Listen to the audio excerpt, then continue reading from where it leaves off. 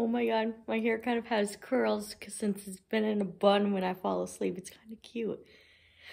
But anyways, how's it going everybody? Um, I don't know if you guys seen on my main channel, but I found out that I'm pregnant and uh, today I'm going to take you guys along with me with my OGBYN um, appointment.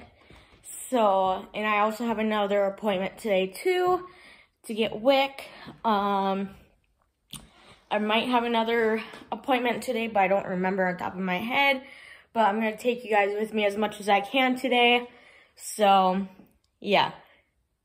I am currently in the car to go to my WIC appointment and I will keep you guys updated with that part. Just finished up my WIC appointment. I got some information from them and yeah, now I have to wait a few hours until it's 1.45 until my next appointment.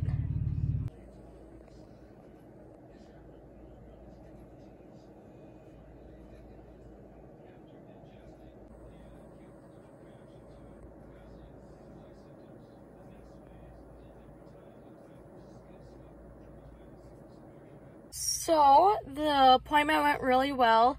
Um,